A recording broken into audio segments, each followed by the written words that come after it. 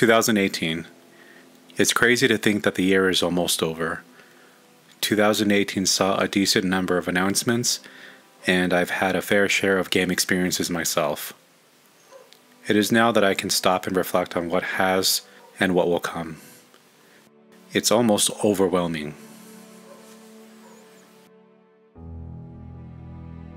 It's mind numbing to think that video games will only be getting bigger from here, and so will our expectations. With the PS5 demo dropping, I am left almost speechless.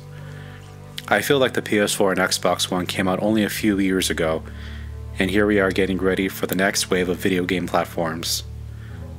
What will the future hold for us? Games are becoming much more evolved and complex.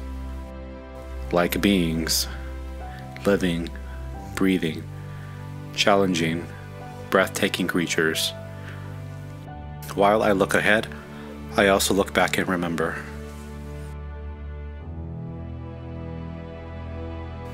I feel like, in general, the Dreamcast introduced some of the most memorable gameplay experiences that have yet to be replicated, at least for me.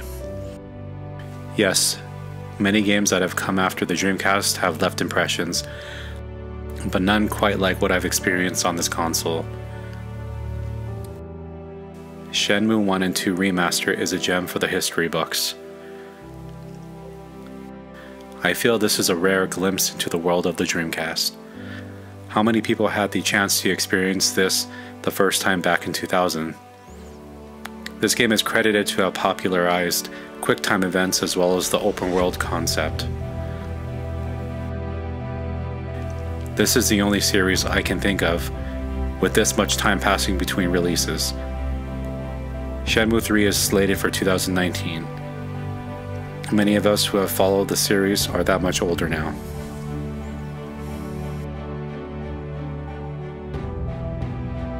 Some other notable Dreamcast games are Space Channel 5 with its colorful environments, a heroine you control with commands a la Simon Says in a super ridiculous fun story. It's Ulala Bitch. Michael Jackson even made a cameo. The game was pure CGI and had some great looking environments for the time. Secondly, Illbleed was another title that was over the top and inspired by B horror movies. Though the tone was supposed to be comical, I found it a little disturbing. Granted, I was 13 years old at the time. Enter Eriko and her horror movie loving delinquent friends.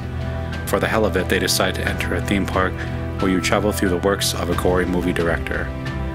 They go for the chance to win $100 million, but there's a catch. Everything tries to kill you.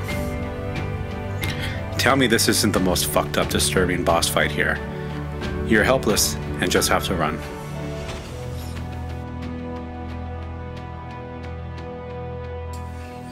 Then there's D2.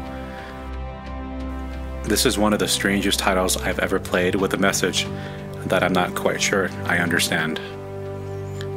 To start, here we have a woman named Laura who's on a plane that crashes in the Canadian wilderness after being struck by a meteorite that's summoned from on board by a cultist acolyte. Things only get weirder from here.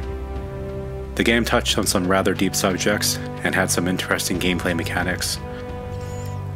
What's most memorable to me is, as Laura, having your mother tell you to kill her after you just met her and found out she's actually a giant computer shaped like a woman's legs in stirrups. Yeah, it's a lot to take in, and it definitely left an impression with me. I could go on with more Dreamcast games, but I want to also talk about this year's games. If you haven't checked out Remothered, I recommend it.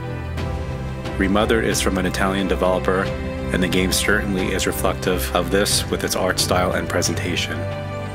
I felt like I was playing an artsy horror film at times. The game environments are rendered quite beautifully, and what I loved most was the use of iconography, which sets a deeper colored mood for the game. Visually, I consider this an art piece, which is one to be experienced.